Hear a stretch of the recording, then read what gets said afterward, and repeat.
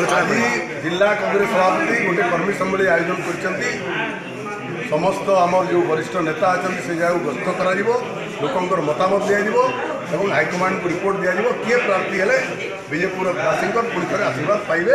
କିନ୍ତୁ ମୁଁ ଏଠି ସ୍ପଷ୍ଟ କରିଦେଉଛି ଏ କମିଟି କେବଳ ମନୋନୟନ ପ୍ରାର୍ଥୀ ମନୋନୟନ କମିଟି ଏଇଟା ପରିଚାଳନା ନୁହେଁ।